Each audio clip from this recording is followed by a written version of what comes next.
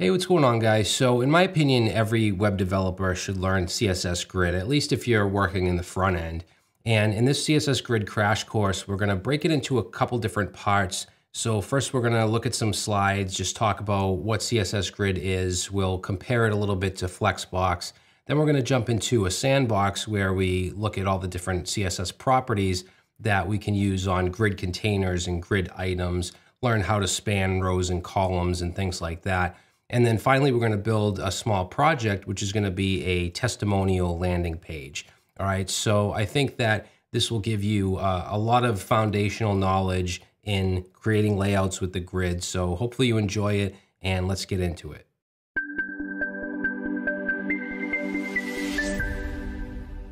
This grid crash course is sponsored by InMotion Hosting, and I've used InMotion personally for years. In fact, my traversymedia.com website is hosted on one of their VPSs. So they offer everything from shared hosting and WordPress hosting for small businesses to VPSs and dedicated servers. And I can speak from experience that their service is fast, secure, and reliable, and great for just about any project. So you have accounts starting from just $2.99 per month, and that includes not only web hosting, but email accounts, marketing tools, free SSLs, and more. So to learn more, visit InMotionHosting.com or click the link in the description below. All right, guys, so I just want to jump into some slides real quick to talk a little bit about what CSS Grid is. So the grid is a powerful tool that CSS gives us to easily align elements or items on the page, create two-dimensional layouts with rows and columns. And I do want to mention Flexbox here because they can be similar. They are used a lot in, in similar ways. And a lot of people ask me which one they should learn or if they should learn both. And my answer is always to learn both.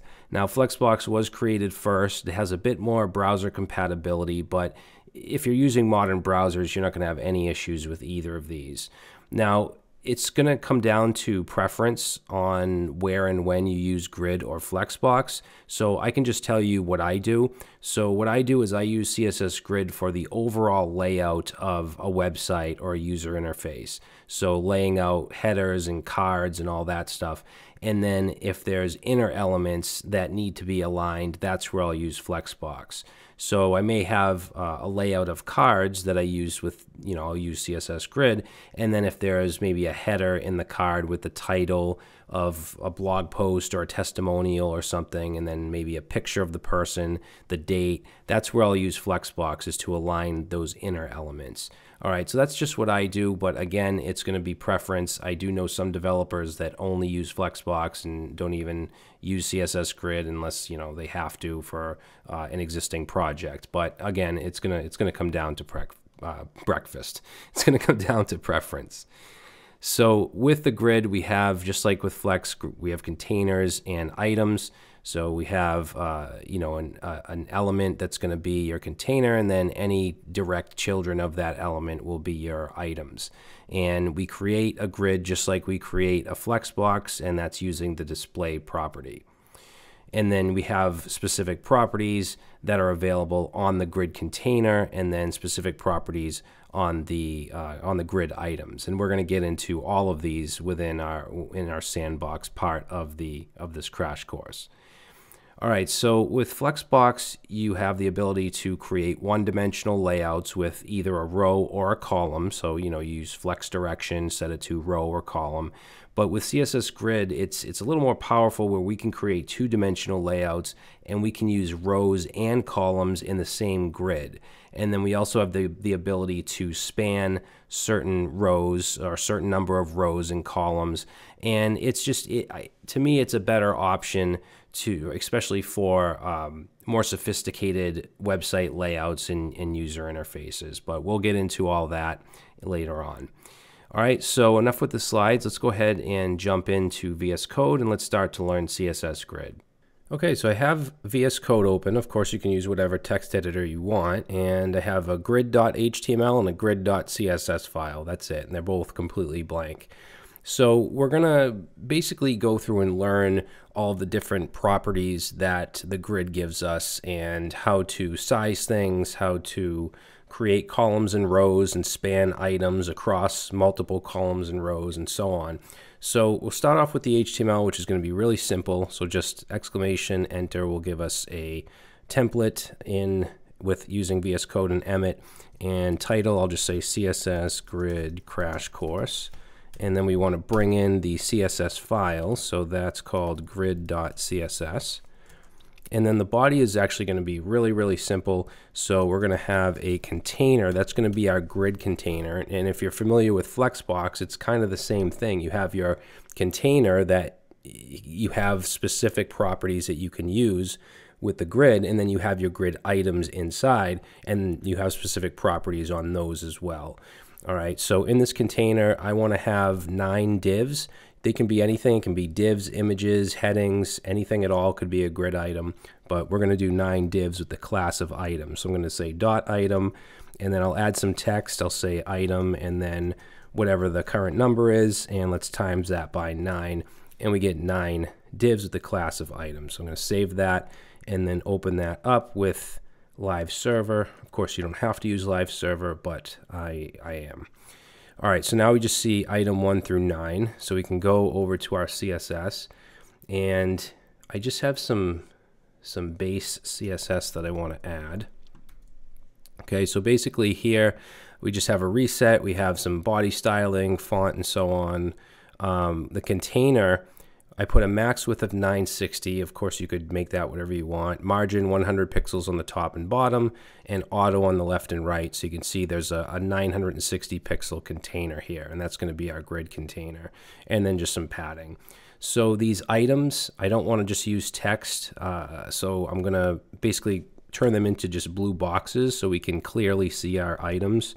So let's say dot item, and let's set the background uh, of course, you can use whatever color you want. I'm going to use steel blue. And then let's do color of white for the text. And let's do a font size of 20 pixels. And let's say padding, we'll do 20 pixels. Okay, let's actually add a border as well. So we'll say border, let's do sky blue and one pixel solid just so we can see where these end and begin. So we just have three, uh, three. We have nine blocks or nine items.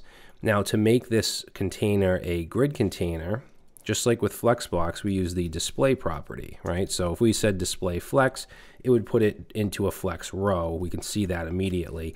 Now, if we say display grid, it doesn't do anything. We can't see anything happen just yet because we need to specify how many columns we want and how, how big we want those columns to be.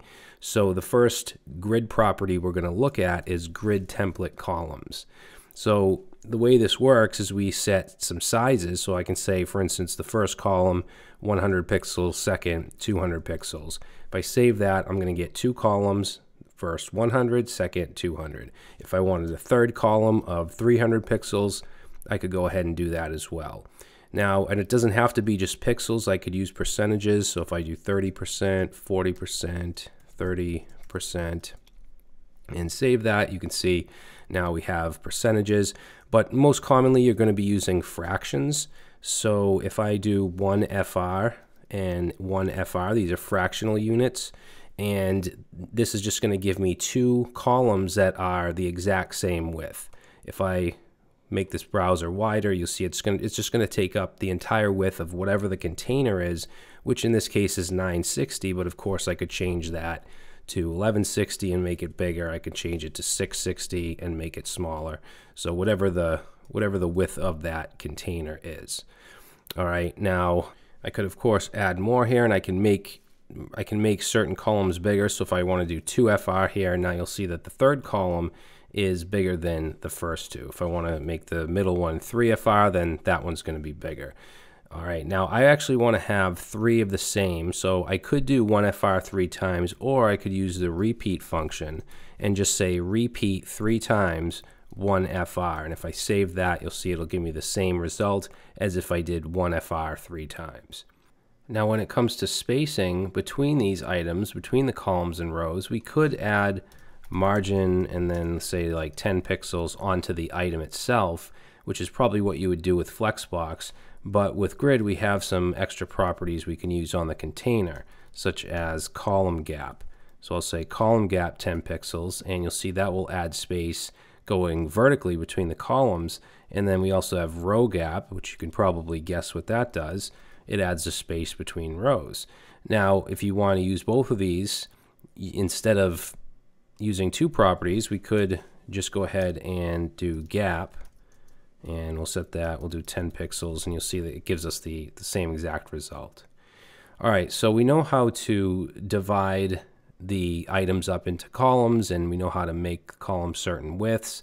So now let's talk about height. So the height right now is going by the content that's in each each grid item and it's all basically the same content so they're all the same size. So I'm just going to go ahead and replace this with let's say lorem 30 and save that. And now notice that the height expands to fit the content by default. And then all of the columns that are in that row also expand on height by default. So there's a couple properties that I want to show you that have to do with, with rows and height. So the first one is grid dash auto dash rows. So with this, we could set all of them to 200 pixels regardless of the content. You can see it actually gets cut off here. Um, now there's also a function called min-max that we can use on both columns and rows.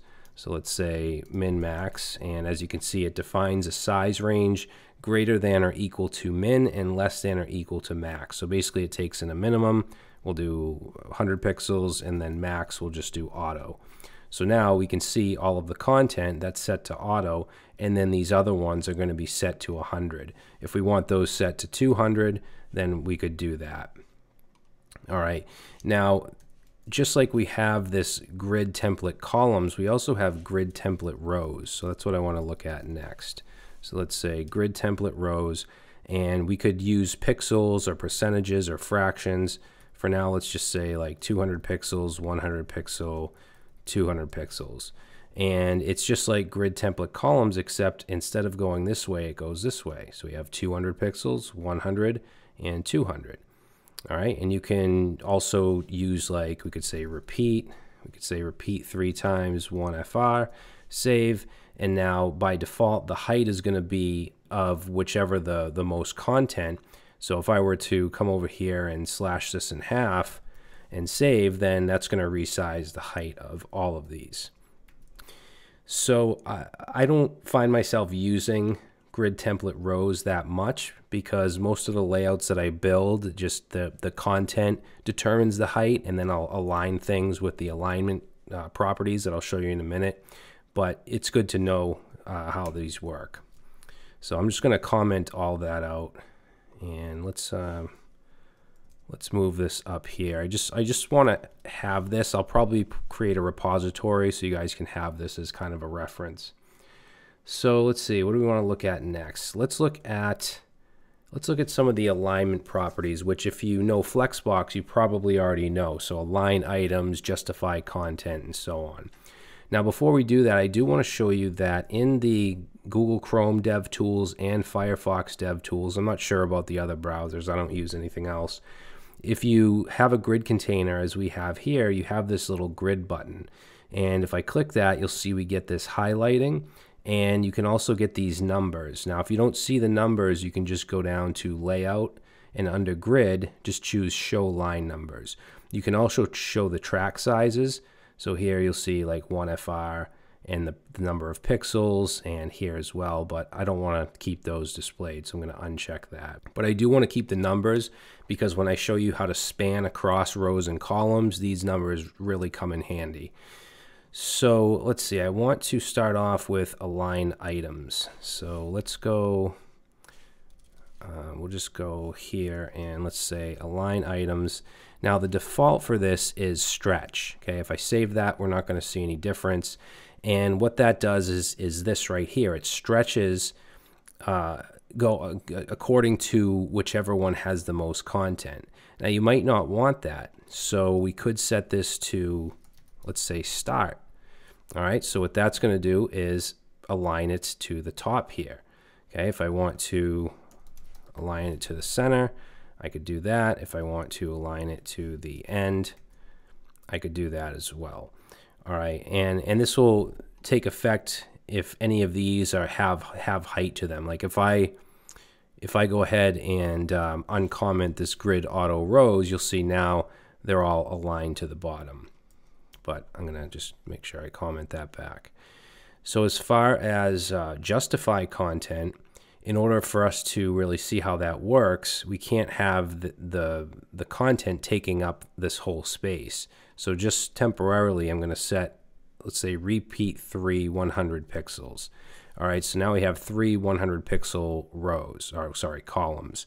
And if I wanted to align all of these, let's say to the end, I could use justify content and set that to end, and it would move them over to the end. I could do center, move them to the center, and so on. We could do also like space around, you know, so all those different values. Uh, and if you're familiar with Flexbox, then you already know those. So let's set this back to 1 FR.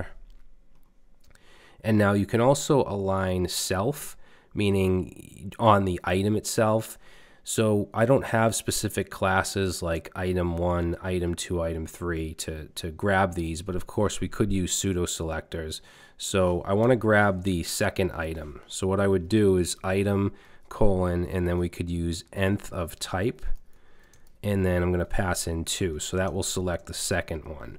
And I'm just going to change the height just temporarily just to show you how this works. The height and uh, weight, the height and width to 100 pixels. Okay, and now if I want to align this, let's say align item, I'm sorry, not align items. Align items is for the container, align self is for the actual item. So I want to align that to, let's say, end and you'll see that it gets moved to the bottom. If I want to move it to center, I could do that. And then if I want to move it along along the x-axis, I could do justify self. And let's say we want that to be center. All right, so I'm not going to keep this. I just wanted to show you that that is uh, those those properties are available. So the next thing I want to move to is spanning items across uh, a number of rows or columns. So I'm going to start with this, the first one here. So I'm going to change this 2 to a 1. That's going to select this first one. And we'll just go ahead and change the, the color. We'll change it to black. And let's say that I want this to span from line 1, so these are grid line numbers, from 1 to 3 instead of just 1 to 2, which is the default. So I could do grid dash column dash start and set that to 1, which is where it is currently but then I want grid column end. I want that to be 3 instead of 2. If I put it to 2 and save, it's the same thing. But if I put it to 3, it's now going to stretch over to column 3. All right, so, or I should say line 3.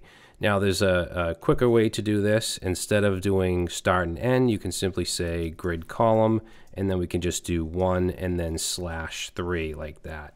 And then we can actually get rid of this and that will do the same thing.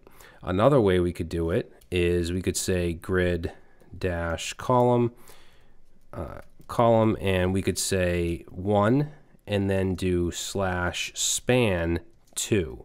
So instead of just specifically saying we wanted to go from one to three, we could say start at one and then span two. So if I comment that out and save, we should see the same same result. But I prefer to do it this way and explicitly say where it starts and ends. Now, we can also span rows or span down. So let's say item 3 here, which right now is goes from 2 to 3. Let's say we want it to go from 2 to 4. So I'll just go ahead and grab this and let's select item 3 and we'll change the color lighten it up a little bit. And then instead of a grid column we're going to do grid row. And it starts at 2 so we're going to say 2 and we want that to go now to 4 so it's going to go from here 2 to 4 all right so we'll save that.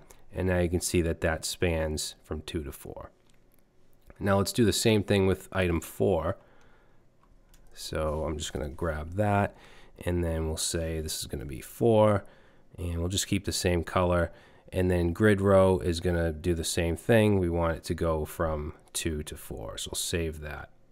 So you can see that CSS Grid it, is more more powerful than Flexbox. It's two dimensional. Like there's no way to do something like this in Flexbox. Have these two here and this unless you use multiple Flexboxes. This is all one grid. Um, so now what I'm going to do is turn off the grid lines here. Shut those off, and then let's comment out this stuff here where we did all the spans. So we just have three, um, three columns across. And I'm actually going to just change this back to item one. All right, because now I want to talk about responsiveness. So right now, no matter how how the browser is sized, we have three columns, right? And that's probably not what you what you want.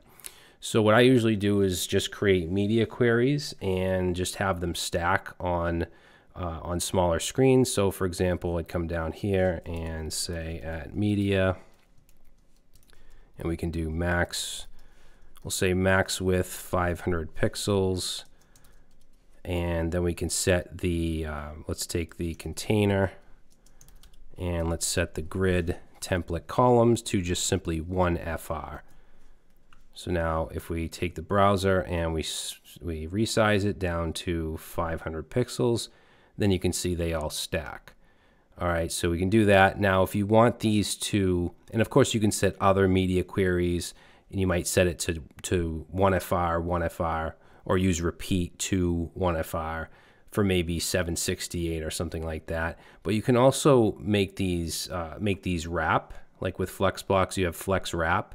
So to give you an example of that, we'll go up here and Let's copy this grid template columns down and then comment it out. So what we could do is pass in here, let's say auto dash fill. And then instead of just one FR, because if we do it like that, we're just going to get that result. So instead of that, we can do, we can use min max here. And we want to pass in here whatever the minimum width you want. So let's say 200 pixels, for example and then we could do one FR here. So now what happens is we get th three across because we're saying if it's 200 pixels, then put it in. But if we go below that, so let's see, we're going to go keep going. And as soon as one of these goes below 200 pixels, then it wraps. And now we have two columns. Okay, and then we still have our media query. So if I keep going and I hit 500, then they're going to stack. If I stretch it out long enough, we should see four columns as well. All right, so that's how you can make your grids responsive. Now, obviously, if you're going to keep like the grid, the spans like this, then you have to account for those in your in your media queries as well. All right, so that's pretty much it for, for the basics and, and how to use the grid. Now, there's one more thing I want to show you before we move on to the little project I have, and that is uh, grid template areas, which is kind of a different way of, of doing things. So I think what I'll do is just create two more files. Let's say grid2.html, uh, and then we'll say, we'll do grid, let's say grid2.css. All right, and I'm gonna just close up grid HTML and grid CSS. So we have the two new files. And then let's go to grid2.html, which is completely blank right now. So I just want to show you a picture of what, I'm, whoops, I don't want to open it in Photoshop. Let's open it uh, with preview. So this is the layout that I want to create, which is a pretty common type of layout. So we have a header at the top that goes all the way across, have some navigation on the side that goes all the way down under the header, the content, and then the sidebar, and then the footer that goes under the sidebar and the content. So I'm going to show you how to do this with grid templates or grid template areas. So first thing, let's add our HTML, which is going to be really simple. We'll just throw in a template here and let's say CSS CSS grid template areas. And let's add in a link here, and this is going to go to grid2.css. Now, um, in this case, I'm going to use the body as our as our grid, as our grid container, and then any direct elements are going to be grid items. So first we'll have a header, and I'm just going to put some text in here. So we have header, we'll have a main tag, and in here we'll say content. Then we'll have our nav, say navigation, and oops, let's do an aside. So that'll be our sidebar, and then what else? Our footer, which will be footer. All right. So that's all I want to have. And I want to turn this into this using grid template areas. So let's go into our, I'll get this out of the way now. Let's go into our CSS. And there's some just basic CSS I'm going to pass in here. So just a reset, some body sizing. Uh, and then let's make the, wait a minute, there we go. So let's make the body the grid.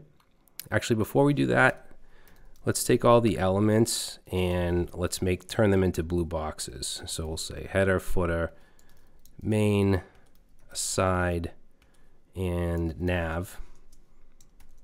And let's do background color, and we'll do steel blue. Let's do color, we'll set that to white, and then padding 20 pixels and let's do border. We'll do sky blue one pixel solid. All right. So we have no positioning or anything like that. We just have a bunch of blue blocks just like we did uh, in the last you know in the last file so like I said the body is going to be the grid so we'll say display grid which does right now it, it the reason that it did this is because I set the height of the body to 100 VH. If I didn't do that, it wouldn't stretch. It wouldn't stretch like that. But I do want it to take up the entire viewport height. Now, for the grid areas, let's go ahead and say grid dash template areas. The way we do this is a, is a little weird, but I think it's it's cool because it's like a it's like a physical representation of what we're trying to do. So the first row, let me bring back over our image so you, uh, you can see exactly what we're doing. So the first row is going to be the header. Now in total, this there's three columns, right? One, two, three. The header, we want to span all three. So the first row, let's say header, header, header, three times. Now the second one, let's put in some quotes here. We want our nav, we want our content. Now, these words that I'm putting in here, these are going to be the grid areas. It doesn't have to be called header. We could call this anything, but I'm just being specific. So nav, then we'll do our content, and then let's say sidebar. Okay, so that's the second. And then the third row is going to be the nav again, because here the nav is going all the way down, right? And then the footer I want under those two. So I would say footer and footer. So this is, is like a text representation of how we want our layout. Okay, and hopefully that makes sense. Header, we want to go all the way across the three columns, so we have it three times. We have the nav content sidebar, and then we have the nav footer footer. All right, so let's get that out of there. Now, just saving this, it's not going to do anything except put them in, side by side. What we need to do now is create our grid areas. So we want to use our selectors. So we want the header tag, and then we're going to set that grid area using the grid area property, and we're going to set it to header. Now, what I put here, this header pertains to this. Okay, so this could be anything. I could have Brad three times here and then just have Brad here all right, as long as I'm using the correct selector. So let's save that, and now you see the header goes all the way across. All right, so the next thing is let's do the nav. So we'll say nav and set that to the grid area of nav, because that's what I called it. So now the navigation is going all the way down. So next we have, what did I we have the main tag and I believe the grid area I called content. So let's say grid area content. Not much difference there. And then the sidebar, So we'll grab that with aside and we'll say the grid dash area is going to be sidebar. And then finally the footer. And we want to set the grid area to footer. All right, so we'll save that. And now you can see it's very similar to what I have here, right? It's just the sizing. The positioning is all correct. Now, if I wanted the footer to go all the way across here and have the navigation end here along with these content sidebar, I could just change this template area up here. And instead of nav, I could say footer and save. And now you can see the footer goes all the way across. All right, but I'm going to put that back to nav. Now, as far as the, the sizing, the width and the height, we can still use our grid template columns and grid template rows. So let's say grid dash template columns and I'm going to set it to 1 FR and then the middle, the con main content, that should probably be the widest, right? So we'll do 4 FR and then the sidebar we'll do 1 FR. Okay, we'll save that. Now you can see the content is the biggest part. Now we also don't want the header and footer to be this tall. So let's use grid dash template dash rows here. And let's set the header, we'll do 80 pixels. And then let's just do 1FR, which is just basically the remaining area from the header and then the footer, which I'll do 70 pixels. Okay, so now if I bring my image over, there we go, same exact thing. Okay, so I think it's really cool that we can lay things out like this. Now you won't always use this. I, I don't use this a lot. Um, but if I'm if I were to create something like this, I definitely would.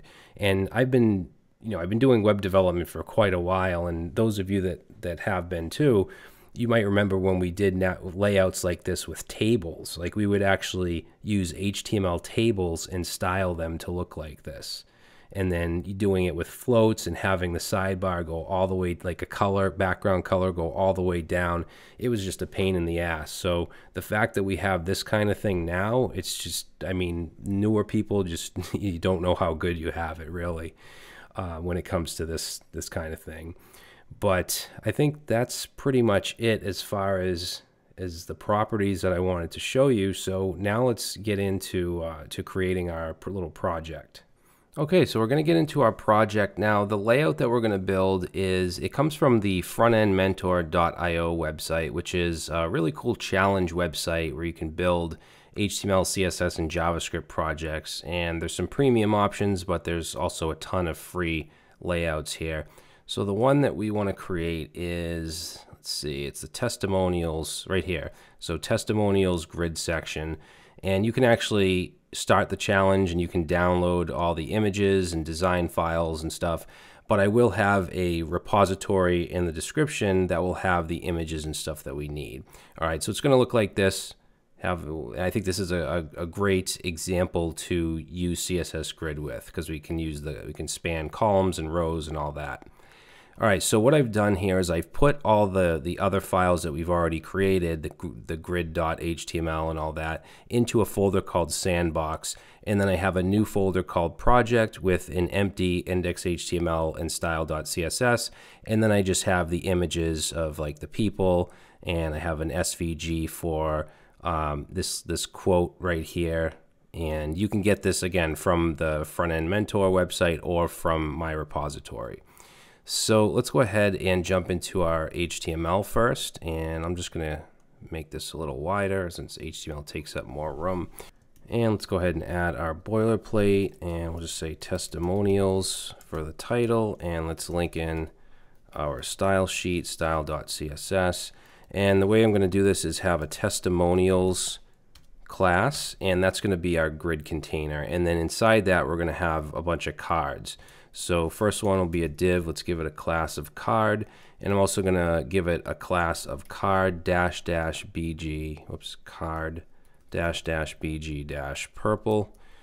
Because if you look at the project here, this one has the purple background. So we need to add a little bit of styling. And I'm using the BEM CSS syntax or the BEM syntax, uh, which I've been really liking lately. So inside the card, we're going to have a header, and let's give that a class of card double underscore header. And inside that, we'll have the image, and we want images slash, and this one is Daniel. I'm probably just going to type this card out, and then I'll paste the rest, the rest of them in, and you can just grab it from the uh, repo if you want. So let's add a class here of, let's say, card double underscore image. And then underneath that, we're going to have a div. And that's going to have the H3 with the name. So Daniel Clifford, and then a paragraph with, say, verified graduate. And we'll use Flexbox to align like this here, this or this stuff here. All right. So underneath the header, let's see, we have some more text. So basically we have the large text or the lead text and then the quote, which is the smaller text. So under header, we'll have, uh, let's do a paragraph, class of card underscore, double underscore lead. And I'll get the, I'll get the actual text in a second, but then we're going to have a class of card quote Okay, and then I'm just going to grab those pieces of text. And if you just want to put dummy text, you can of course do that as well. And we'll save that. Okay, so we have our first card, which looks absolutely horrendous, but we'll fix that in a little bit. So for the rest of this, let me just grab, um, I'm going to grab the rest of the cards and just paste them in because there's no sense in typing them out. They're all the exact same except for the content. All the classes and all that are all the same. So we want to go still within testimonials, but after this first div with the card, we'll paste those in, and now you can see we have all of the um, all of the cards. And then I'm just going to add a footer just to give credit to Front End Mentor for this for this project. They're not sponsoring this video or anything, but uh, yeah, let's say footer and say H3, and we'll just say project. You don't have to do this, but I'm going to say project from, and then we'll put a link in here. Let me just grab the link. So this is the link to the actual challenge. And in here, we'll just say front end, uh, front end mentor. All right, cool. So now we go into our styling and we can make this a little smaller now since CSS doesn't usually take as much room. And I'm going to just paste in just a little bit of, of styling here. We're importing the Barlow semi-condensed font and a reset and then just setting uh, some background color and so on. And the text is pretty small for this project. There is a, a style guide when you download the resources from Front End Mentor if you want to check that out. So I think first we should style everything but the grid just to get these these cards looking good and then we can go ahead and add all the grid properties. So we'll start with with the testimonials container. So let's at least add like our max width which is going to be 1440 pixels going by the style guide and then let's do margin we'll say 100 pixels top and bottom and auto Okay, and then this is where obviously we're going to have display grid and all that, but we won't do that just yet. And I know what we're doing for the next 10 minutes or so uh, isn't has nothing to do with the grid, but it's part of the project. So I like to do things from start to finish and not just, you know, paste things in. So um, you might learn some other stuff along the way. So let's grab the class of card because we know that, that that's on all of these. And we're going to add uh, background. So the initial background color is going to be white. So we'll say white. And then let's give it a border radius. We'll do 10 pixels. Uh, whoops, 10 pixels. And then I'm going to add some padding, 30 pixels of padding. And we're going to have a box shadow. So I'm going to just paste that in. So I have to type that out. And if you want to change any of this stuff, um, obviously you can. And just for now, I'm going to add a margin dash bottom to the cards just to separate them a bit, but we can get rid of that after. Okay, so the, the header, which is the image, and then the div that has these two uh, pieces of text in it, I want to use Flexbox on that to align. Okay, that's what I was talking about when we started the video and I said where, you know, where I use the grid and where I use Flexbox. So I'm going to display that as flex and it's going to put the text right next to the image into a row. Let's use align items center to align vertically. And let's add margin dash bottom, 10 pixels. Okay, and then let's grab the card header H3, which is the, the name, and we'll go ahead and just set that font size to 15 pixels. And let's see, we'll just grab this and, whoops, just grab that and bring that down. And I want to do the paragraph in the card header, which is that verified, what is it, verified graduate. And that's going to be a little lighter, so we're going to do opacity and set that to 50%. Okay, and then for the for the image, that has a class of card double underscore img. And we're going to set the width, let's say width of that to 40 pixels. And then we also want the height to be 40 pixels. And let's make it rounded. So set the border radius to, let's do uh, 50%. Okay, and then we want like a light purple border. So say two pixels solid. And the color for that is going to be 996 ED9. All right, so now we have the border, and then let's just add some margin right to push the text over. So we'll do 10 pixels. All right, so that's our header. Now for the text, we have lead. This is the lead, and then this is the quote. So let's grab the, we'll say card double underscore lead. And for that, we're going to do uh, font, let's say font size of, we'll do, we'll use rem units here, 1.5 rem, because it's going to be quite large. And then the font dash weight is going to be 500. And let's change, let's add the line height for that, which will be 1.3. And then the margin, actually, no, yeah, let's do margin bottom 20 pixels. Okay, and then for the quote, I'll just copy this. So remember we have the card underscore quote, and the font size for that is going to be 15 pixels, so really small. And then font weight's the same. Um, line height will do 1.4, and then we're also going to make this lighter with opacity 70%. That's actually in the style guide as well. Now we want to, because these look pretty good now, so we want to work on the, the different colors, so the different styles or variations. So we have the purple. Remember, the first one is this card BG purple, and then we also have two others. This one here, card BG gray blue, and card BG black blue. Okay, so here, this is the gray blue, that's the black blue, and the purple. So let's take care of those. So say BG purple. And for this, set the background. And the background is going to be HSL. So that's taken from the style guide as well from Front End Mentor. Let's do 263, 55%, and then 52. Is it 50? Yeah, 52%. So that's our background. And then, of course, we want to lighten the text. And then this one actually has a background image of the quotes. So let's say URL, and we want to go, let's see, just dot, slash is it? Where is it? Yeah, so I'm in style CSS, so we just want to go into images.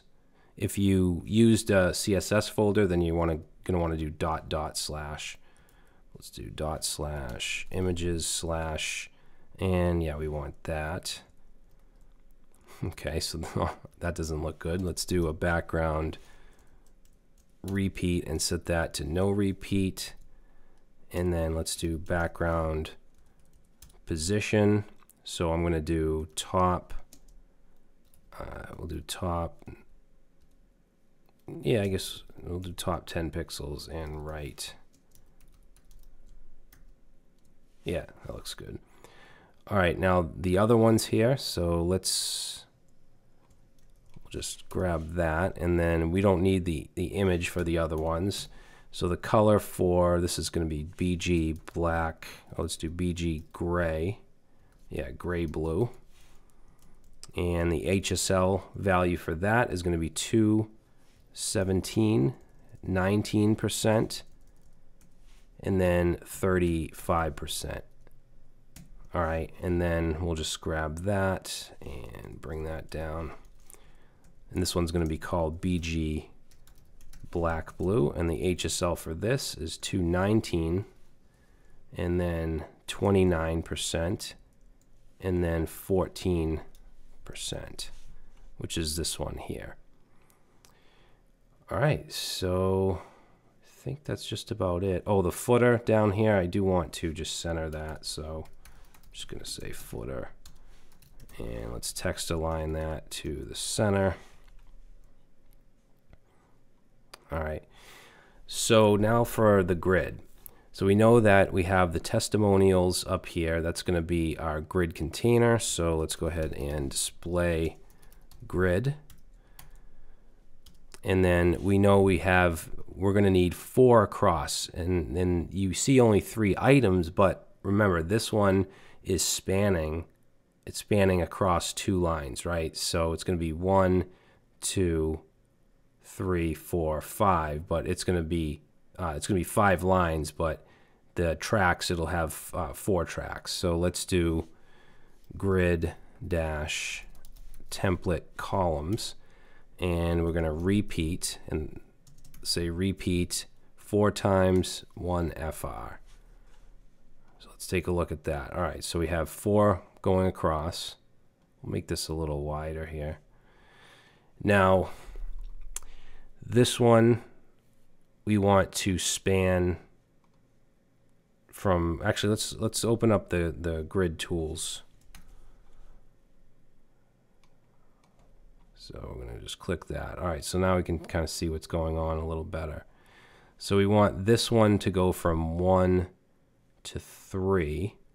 So what we can do is go down here to the bottom and let's say dot card and we want nth of type and we want the first one. So if you want to pause the video and try to do this yourself, I would recommend that. Uh, of course, you know you don't have to, but I would suggest it. But let's do column, grid column. So one, to 3. All right, cool. So now that goes from 1 to 3. Now I do want to add gap as well. So let's go up top here and where we have our display grid, we're going to add gap and let's do 30 pixels to split those up. And then I want to do the fourth one, Patrick, we want to go from here. So Patrick will have grid column.